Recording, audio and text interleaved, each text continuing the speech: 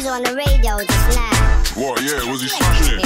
Nah, he's big, man. He's massive. Fucking a Bruza. Yeah, nah, he's got it going on because he's like original. I'm not really, I'm not really feeling him Nah. days, you know. Nah, you ain't heard his new stuff. Nah, his new though.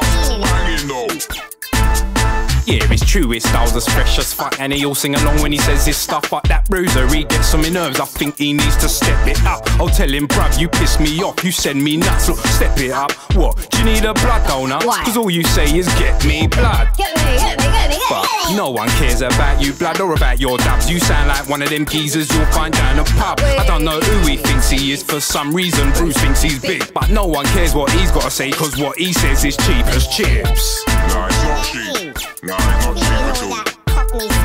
Yeah, but he's representing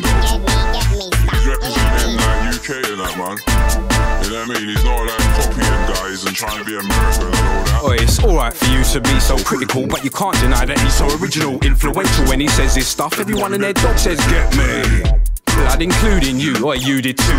Now it's a phrase that we always use. Now Bruza's cool. Why is that? Cause he's always repping us. He's not copying them, he's got a style of his own. Even when he raps, he don't spit on a track like. I'm a thug and I bust slugs for your dome. Nah, cause he ain't American, so he ain't speaking like them. He leaves it to them. Believe me, my friend, these UK MCs need Bruza, cause he's like a leader for them. You know what I mean? He's leading people. Like, he made it alright to represent the UK. true, true. He's making it alright. Like, people were ashamed to be from the UK before. MC says serious rhymes when spitting at me. But when I listen to Bruza, he just makes me laugh. He's not bruising, he's tickling me. I heard him on a remix of Get Out My House. I'm surprised his career hasn't finished, especially after he said, Get out me ass, or watch me bash me bishop. I was like, how can he get away with that? My favourite MC would never say that. My favourite MC spits gangster stuff. My favourite MC would have him up. I reckon Bruza needs to hang it up. Both his mic and his gloves. I've had enough. Like my favorite MC and he's, he's spitting all them real Yeah, that's, guns and like. yeah, all there is to talk about. All that, you know? But there's other stuff. There's other stuff to talk about, bro. You know what I mean?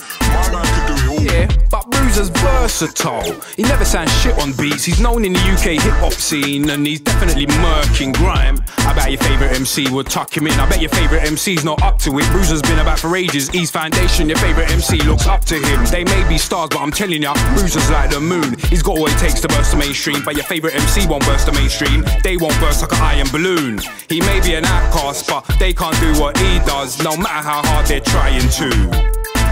It takes a brave man to be different.